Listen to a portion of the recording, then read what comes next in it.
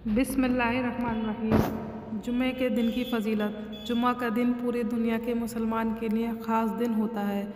जुमा के दिन हर मुसलमान जुमा की नमाज़ अदा करता है।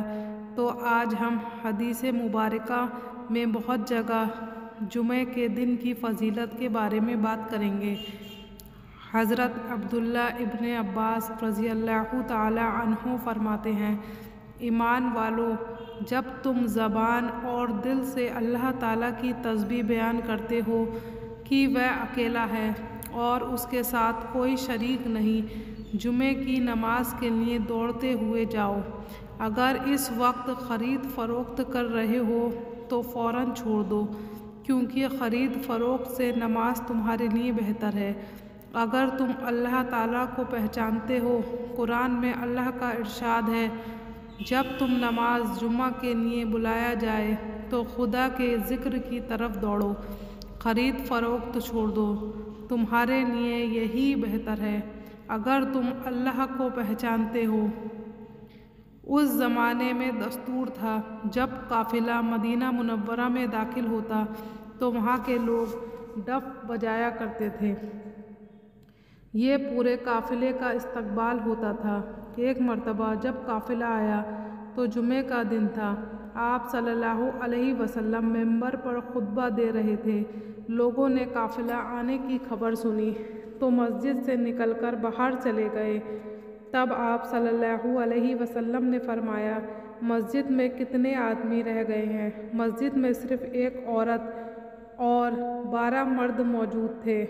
आप सल्लल्लाहु अलैहि वसल्लम ने फरमाया, अगर ये लोग मस्जिद में बाकी ना रह गए होते तो मस्जिद से बाहर जाने वाले सब लोग संगसार कर दिए जाते, क्योंकि उसी वक्त अल्लाह ताला ने आयत नासिल फरमाई है, महबूब, इनसे कह दो कि खुदा के पास इस ढोल तालिया और सौदागरी से बेहतर सवाब है और तुम्हें इससे बेहतर नफ़ा पहुँचने वाला और रिस्क देने वाला है।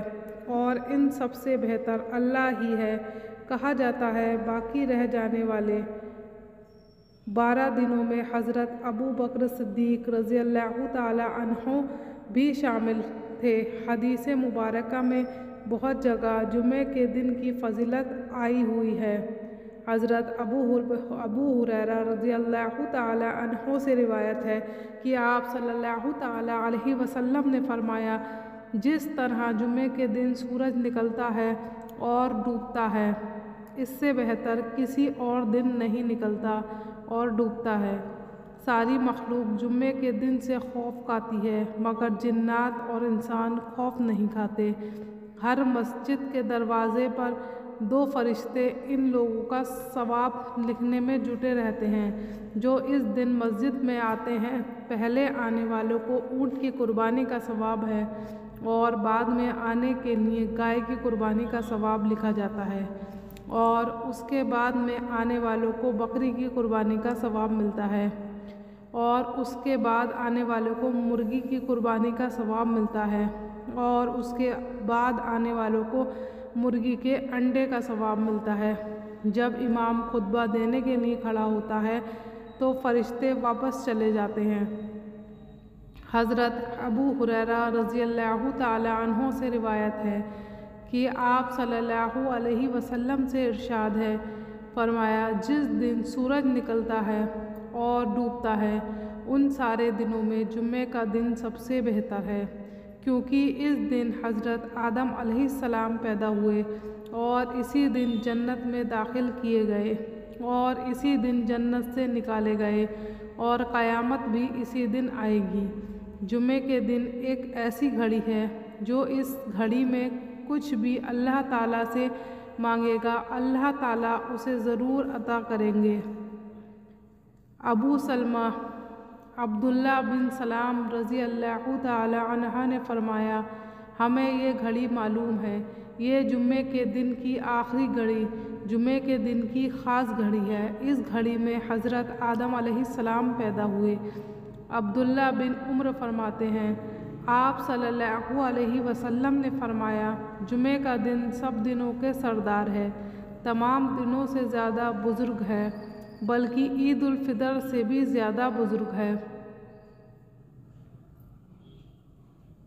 हज़रत अली रज़ी अल्लाह तह फरमाते हैं, जुमे के दिन मस्जिदों के दरवाज़ों पर फरिश्ते खड़े होकर मस्जिद में आने वाले के मर्तबे लिखते हैं, जो मुसल्ले के करीब होते हैं, उन्हें भी लिखते हैं, जो इमाम के करीब होकर खुतबा सुनते हैं, उनको दो गुना सवाब मिलता है। जो लोग इमाम के करीब बैठकर खुतबा ठीक तरह से नहीं सुनते, बल्कि बातें करते हैं, उन्हें भी सवाब के बजाय दुगना अजाब मिलता है। जो इमाम से दूर होकर बेहुदा हरकतें करते हैं, बकवास करते हैं, उसे भी गुनाह मिलता है।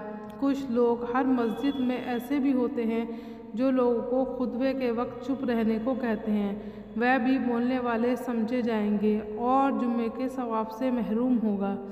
हज़रत अली रज़ी अल्लाह फरमाते हैं, मैंने आप सल्लल्लाहु अलैहि वसल्लम से ऐसा ही सुना जो ज़िक्र किया गया। आप सल्लल्लाहु अलैहि वसल्लम ने फरमाया, जुमे के दिन इमाम खुतबा पढ़ रहा हो तो कोई शख्स दूसरे को ये भी ना कहे, खामोश रहो, क्योंकि ऐसा कहना भी लागू बात बन जाएगा। जुमे के दिन फरिश्ता मस्जिद, फरिश्ते मस्जिद के दरवाज़े पर खड़े होकर मस्जिद में आने वालों के नाम लिखते हैं। इमाम के आ जाने पर फरिश्ते लिखना बंद कर देते हैं। अपने हाथ से कलमे छोड़ कलमे छोड़ देते हैं और कहते हैं, आज वाला शख्स नहीं आया, क्यों नहीं आया? फिर वह ऐसे लोगों के लिए दुआ मांगते हैं कि अगर वह बीमार हो तो शिफा दे, अगर घूम रहा है तो उसे हिदायत दे, अगर रास्ता भूल गया है तो उसे रह बरी फरमा। हज़रत जाबिर बिन अब्दुल्ला से रिवायत है कि आप सल्लल्लाहु अलैहि वसल्लम ने फरमाया, जो शख्स जज़ा और सज़ा पर ईमान रखता है, उस पर वाजिब है कि जुमे की नमाज़ जमात के साथ अदा करे। बीमार, मुसाफिर, औरत, नाबालिग और ग़ुलाम को न पढ़ने में कोई हर्ज नहीं। जो शख्स खेलकूद या कारोबार में मसरूफ़ रहकर नमाज़ से लापरवाही तैयार करे अल्लाह ताला उससे बेपरवाह हो जाता है, इसलिए खुदा बे बेनियाज है।